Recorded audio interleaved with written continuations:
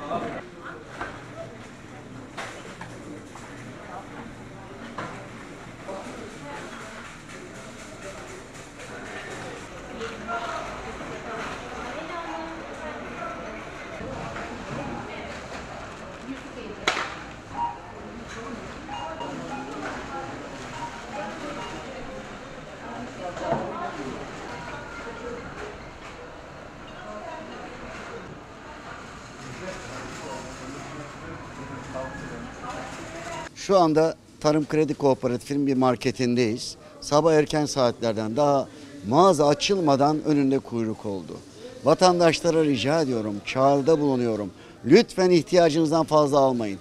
Bakın burada ayçiçek yağını ben fiyat listesi yaptım ve o fiyatlara göre bugün indirim olmuş.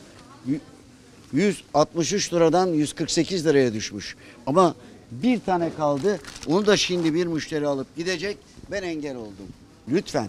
Burada çok önemli bir husus var. Bakın enflasyon ortada. Enerji fiyatları arttı, emtia fiyatları arttı ama birileri buradan vurgun vurmasın diye devletin en tepesinden çağrı geldi. Hazine Maliye Bakanı çağrıda bulundu. Ticaret Bakanımız çağrıda bulundu.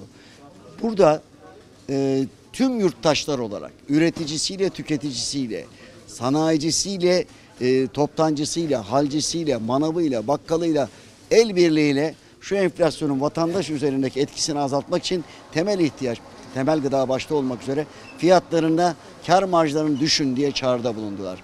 O çağrı ne yazık ki karşılık bulmayınca devlet kendi bakkalında bunu uygulamak zorunda kaldı. Dediğim domates burada 9.90.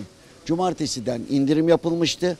Ee, 13.90'dan inmişti. Patlıcan 11.50 idi. Bugün 10 liranın altına düşmüş. 9.60. Kabak 9.75'ten 7.90'a düşmüş. Salatalık 8.90'dan 7.90'a düşmüş. Limon 22.90'dı. Bugünkü etiketi 17.90. Bulgur, pilavlık bulgur 14.25'ten 13.90'a düşmüş.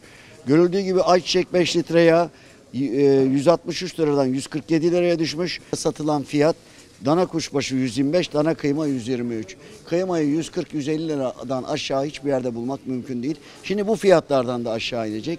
Bizim e, dileğimiz özel sektörde üretici, e, aracı, toptancı, zincir marketler hepimiz temel ihtiyaç ürünlerinde, temel gıda ürünlerinde kar marjlarını düşürmeliyiz.